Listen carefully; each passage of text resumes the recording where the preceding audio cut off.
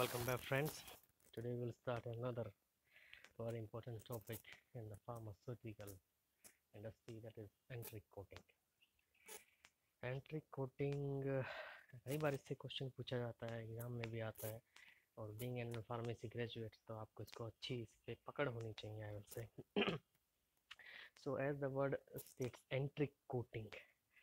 enteric mean to say it is derived from the part antral is related to the intestine so something that is going to dissolve the coating that is go- going to dissolve or disintegrate in intestine is called as your enteric coating okay enteric coating के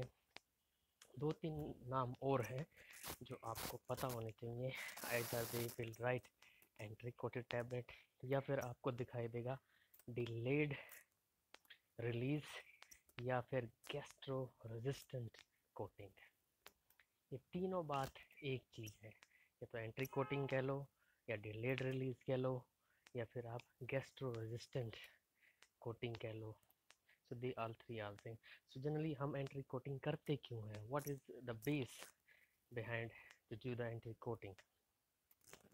तो generally main objective यही है कि हमारी बहुत सी ऐसी drugs होती है, जो कि आपकी गैस्ट्रिक पीएच के अंदर, गैस्ट्रिक इन्वायरमेंट के अंदर अनस्टेबल होती है, वो डिग्रेड हो जाती है। फॉर एग्जांपल, जितने भी आपकी प्रोटीन है, प्रोटीन बेस्ड ड्रग है, पेप्टाइड बेस्ड ड्रग्स है, और मोस्ट ऑफ़ द एंटीबायोटिक्स जो है they will degrade in the presence of acid तो उसको प्रिवेंट करने के लिए हम ये चाहेंगे कि हमारी ड्रग जो है वो एसिडिक इन्वायरमेंट में स्टेबल रहे so that's why we have to do the entry coating. Second objective for that is, there are the some drugs जो कि गैस्ट्रिक मुकेजा को इरिटेशन काज करती हैं। फॉर एग्ज़ाम्पल जैसे आपकी एस्प्रीन है, या फिर पोटाशियम क्लोराइड है, ये ड्रग्स क्या आपकी गैस्ट्रिक मुकेजा को इरिटेट करती हैं, जिसके कारण आपको को अनकम्फर्ट सी फीलिंग होती है। So also to prevent that we have to go for the options that is entry coating second is site specific कुछ एक ड्रग्स जैसे हैं, हम चाह रहे हैं कि इनको लॉन टारगेटिंग करना चाह रहे हैं इंटेस्टाइन का पार्ट जो है वहाँ पर पहुँचना चाह रहे हैं। तो हमें अपनी ड्रग्स जो है स्टोमक में नहीं चाहिए, या फिर हम चाह रहे हैं कि हमारी मैक्सिमम अमाउंट ऑफ़ ड्रग जो है वो इंटेस्टाइन में रिलीज़ हो। फॉर एग्जांपल एंथलमेटिक्स जो ड्रग्स होती हैं, जो पेट के कीड़े मार, जो जो कि नो जो जो आंतों में जो अपने कीड़े होते हैं, उनको मारने के लिए काम में लाई जाती है। सो वो सब आपके इंटेस्टाइन पार्ट में होते हैं। तो हम ये चाहेंगे कि हमारी मैक्सिमम ड्रग जो है इंटेस्टाइन में जाके कॉन्सेंट्रेट हो। For that we have to do for entry coating and another and the last but not the list is another objective is that बहुत सी जितने भी आपके प्रोटॉन पंप इनिबिटर्स होते हैं, जैसे ओमिप्राजोल है रविप्राजोल है पेंटोप्राजोल है, इनकी खास बात ये है कि ये इनकी जो एब्जॉर्प्शन और इनकी जो एक्टिवेशन जो है, वो एसिड की प्रेजेंस में स्टार्ट होती है।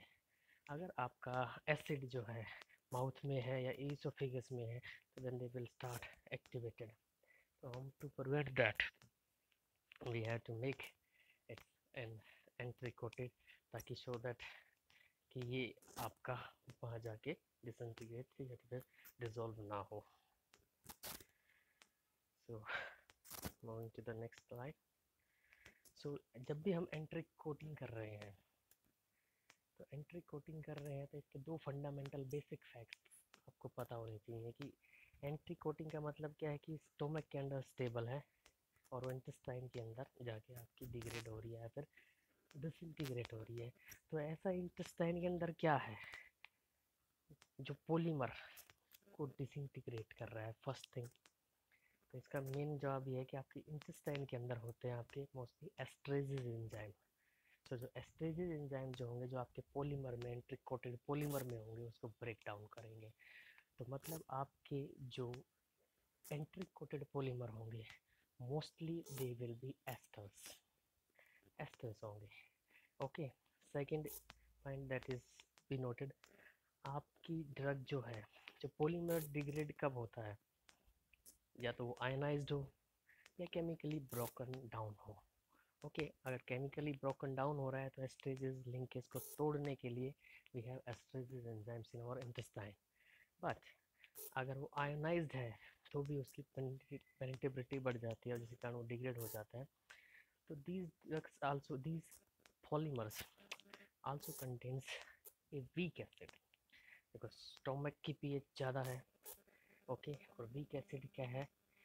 कॉमन आयन का इफ़ेक्ट यहाँ होता है कि in the presence of stronger ion the weak dissociation of weaker acid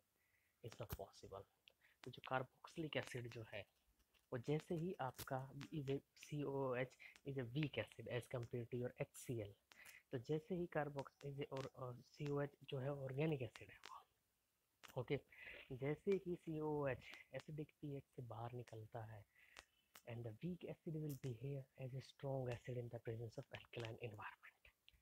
okay so जैसे ही वो आपकी पी को क्रॉस करेगा तो it will start ionise and it will start break and down okay so that is to to fundamental things regarding with entry coated polymers that you must have to know they are mostly carboxylate esters और carboxylic acid okay now next thing is that कि सबसे पहले आप लोगों को ये पता होना चाहिए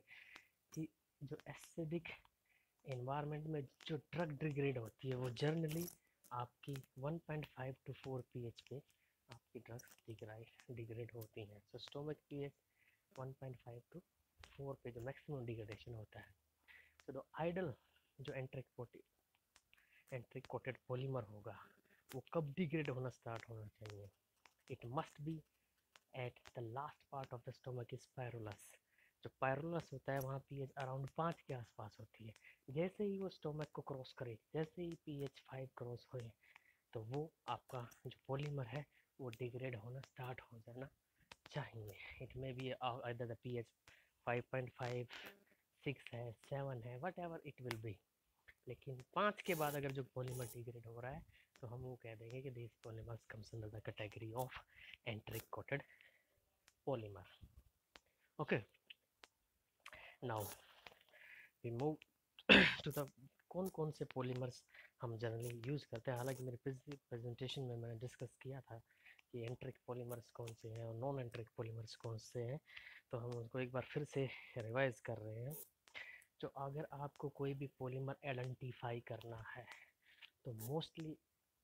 एग्ज़ाम में क्वेश्चन पूछा जाता है कि इनमें से कौन सा एंट्रिक पॉलीमर है और कौन सा एंट्रिक पॉलीमर नहीं है या नॉन एंट्रिक पॉलीमर है।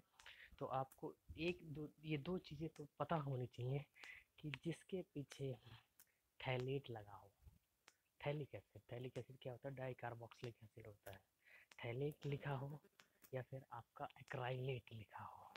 Phthalate and acrylate these are comes under the major category of enteric coated polymers although succinic acid भी जो होता है सक्सीनेट जो है, अगर उसको एक एक देखो थैलेट में भी दो कार्बोक्सिलिक ग्रुप होते हैं सक्सीनेट में भी दो ग्रुप कार्बोक्सिलिक ग्रुप होते हैं।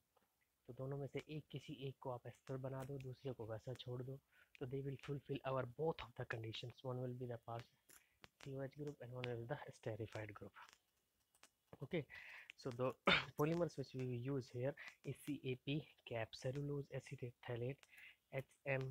H P M C P hydroxy propyl methyl cellulose phthalate the word phthalates comes. और जो एक्राइलेट्स है एक्राइलेट्स पोलीमेथ एक्राइलेट पॉलीमर्स बोलते हैं हम उनको। और ये मार्केट में यूट्राजिट के नाम से आते हैं। यूट्राजिट के नाम से एक्चुअली दे क्या है? They are copolymers of acrylic acid भी है और मेथ एक्राइलेट एस्टर्स भी है। दोनों का कोपोलीमर होते हैं ये। ओके सो अगर आप इनके स्ट्रक्चर्स देखो, जैसे सेलुलोज एसिटेट थैलेट जो पॉलीमर है, उसकी एक मोनोमर की यूनिट आप देखो पोलीविनाइल एसिटेट थैलेट है, उसकी अगर आप एक यूनिट देखोगे, या फिर यूट्राजिट आर एल और आर एस की तो आप देखो they have a ester linkage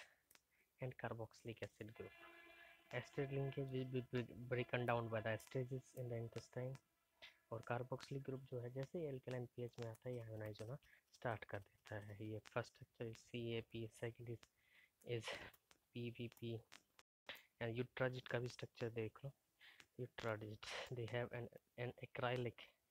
ethyl esters methyl ester of acrylic acid they they have some ester linkage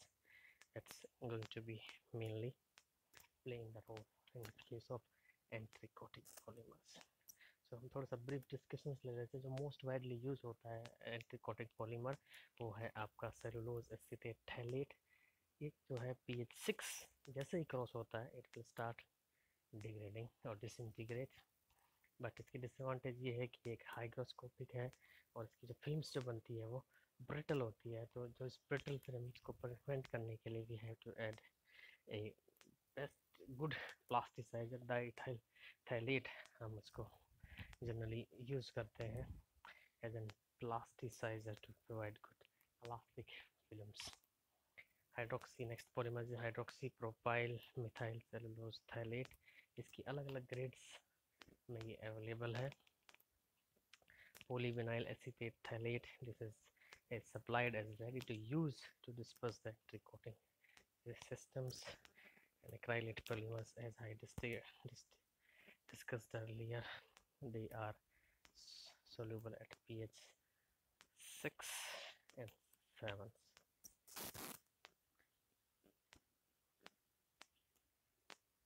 so thank you very much. I hope you enjoyed